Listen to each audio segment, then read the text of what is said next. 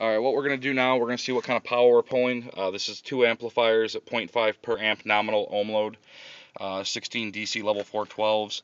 Uh, this is going to be peak hold, uh, so I'm going to roll the volume uh, because I don't have anyone else back here to watch the clamps. Uh, that's set for peak hold. Set for peak hold. we're going to burp 33 hertz on some pretty dead batteries. Uh, I'll probably record a video after this to see what the voltage drop is actually dropping down to. Uh, we're doing this with a TermLab to ensure that uh, results are consistent. Yeah, it's been it's been 152, 152, somewhere in there. Um, we're gonna do this from slow and roll it up, so we're not getting any spikes on the uh, clamps in the back.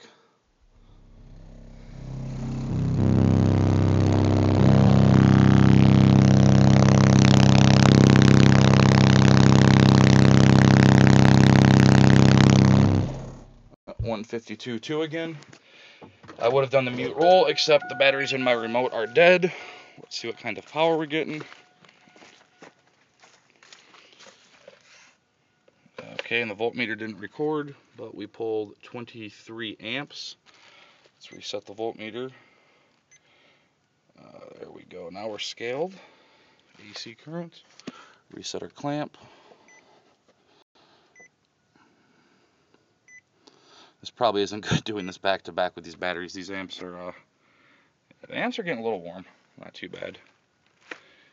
AC, record max. I'm going to set to record max. As you can see, I'm doing this out in the middle of nowhere. Uh, these frequencies tend to uh, drive people insane. Go ahead and reset the meter again. This is DB Jams Volume 12.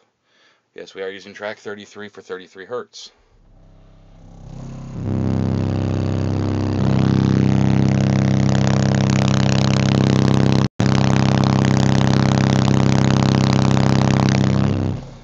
I'll give it consistency, that's for sure. This is the engine off. I think I've got two batteries. There might be a third one connected. Uh, these batteries are pretty low. Let's hope we got numbers this time. 47.6 volts AC at uh, 22.6 amps without a calculator. Myself off the top of my head we're looking at a 2 ohm reactive load. Uh, uh, you have to use a calculator to figure out what the power is. I'm not doing that off the top of my head. Uh, this amp's connected. You can see all these are disconnected. And this amp is connected. So we're pulling somewhere in the neighborhood of 2 ohms I'm going to say probably right around a thousand watts per amp. Uh, doing a 52.2 that's not too bad.